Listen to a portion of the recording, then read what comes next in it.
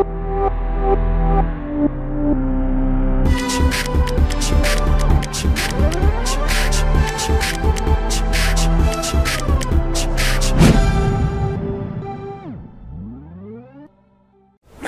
everyone! New part of my builder's blog RV10 Wings Build uh, movies and in this part I will continue to work on my wings. I will start assembly of my wings actually, ribs, spars, riveting, whole process. So less words, more, more work. Let's start.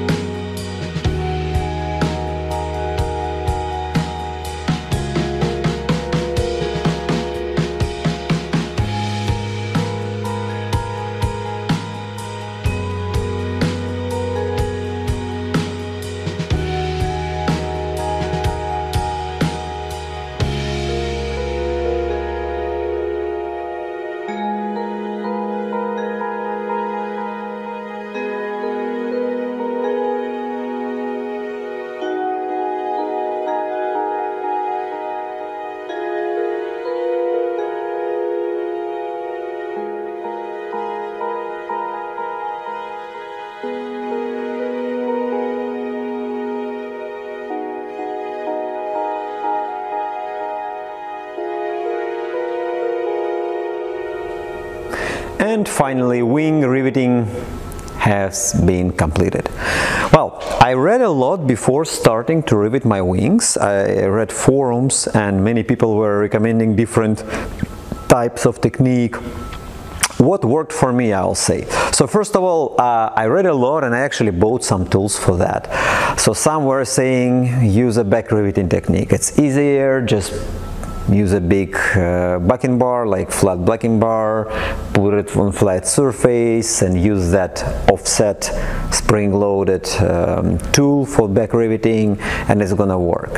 Someone else said use the uh, mushroom with the rubber sealant to avoid slipping from the um, from the wing and so on. Like different opinions on how to rivet wings uh, I must say what worked for me and for my helper like what worked for us. First of all two people. Like it's not one person job for sure. It's two people job. Uh, and as you could see just in the video like I was staying from the one side using the rivet gun and my um, helper was from the other side holding the backing bar. So this backing bar that's regular standard backing bar which worked just uh, perfect.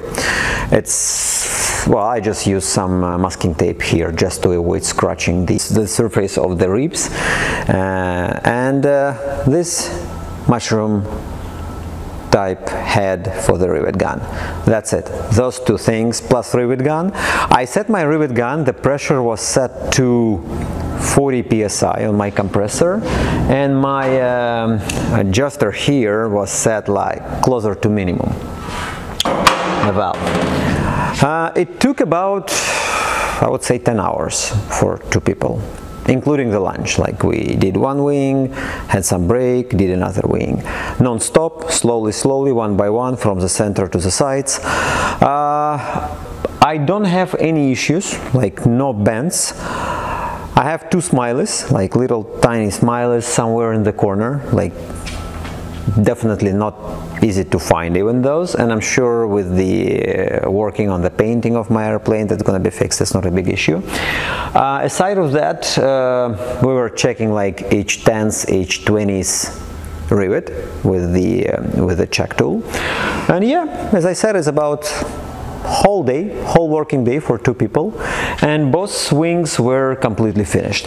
So it's not hard, it's not difficult and the only thing I used that sort of a technique when I was holding my like my rivet gun with this mushroom I was holding it with one hand and other hand I was supporting the mushroom head so I was just basically supporting it like that so I was working like that supporting just to avoid sleeping. You know, I, uh, I had that uh, head which has a rubber like that, orange whatever rubber around. I don't know why I didn't use it. I tried it a couple of times. I found that that rubber is a little bit off top of the head itself so I thought I don't know like I have to push it harder anyway that worked for me so this simple mushroom and the rivet gun set to 40 psi pressure and my rivet gun is X3 uh, just for your information. And yeah it worked fine. And as you can see both wings are now riveted. I'm just now finishing the uh, those hanks for the ailerons here. Just like have to rivet a little bit more. And that's it. I'm done with wings. I'm moving on. So let's watch. Let's continue. That was just quick update about the wings uh, riveting.